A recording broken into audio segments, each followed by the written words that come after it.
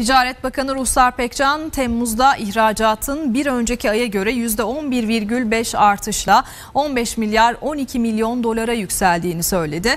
2020 yılının en yüksek ihracat değerine ulaştık dedi. Hazine ve Maliye Bakanı Berat Albayrak'ın da konuyla ilgili değerlendirmeleri oldu. Cari denge yılın ikinci yarısında beklentilerimizden de iyi gerçekleşecek ifadesini kullandı. Türkiye'nin ihracatı koronavirüs etkisinden çıkıyor. Her geçen ay artışını sürdürüyor. Temmuz ayı ihracatı bir önceki aya göre %11,5 arttı. 15,1 milyar dolara ulaştı. İthalatsa bu dönemde %7,66 düştü. İhracatın ithalatı karşılama oranı 84,5'e ulaştı.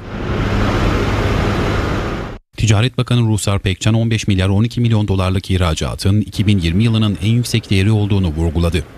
Haziran ayının ardından Temmuz'daki ihracat rakamları da Türkiye ekonomisinin pandemi sürecinden güçlü bir çıkış sağlayacağına dair inancımızı güçlendirmiş, ülkemizin normalleşme sürecinde ekonomik olarak diğer ülkelerden ayrıştığını göstermiştir. Hazine ve Maliye Bakanı Berat Albayrak da ihracat verilerini değerlendirdi. Tüm ihracatçılarımızı tebrik ediyoruz dedi. Cari denge yılın ikinci yarısında beklentilerimizden de iyi gerçekleşecek. Türkiye Temmuz ayında 15 milyar dolar ihracata ulaştı. Bu 2020'nin en yüksek seviyesi oldu. Altın hariç karşılama oranı da %93,9'la en yüksek değere ulaşıldı. Otomotiv, hazır giyim ve tekstil sektörleri bu dönemde ihracatını artıran sektörlerin başında yer aldı.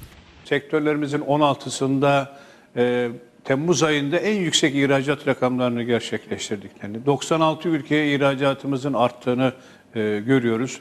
1641 yeni firmamızın ihracata başladığını, ayrıca ihracatın ithalatı karşılama oranında da en yüksek rakamlara çıktığını, 84,5'luk rakamlara ulaştığını görüyoruz. Türkiye Temmuz ayında en çok ihracatı Almanya'ya gerçekleştirdi.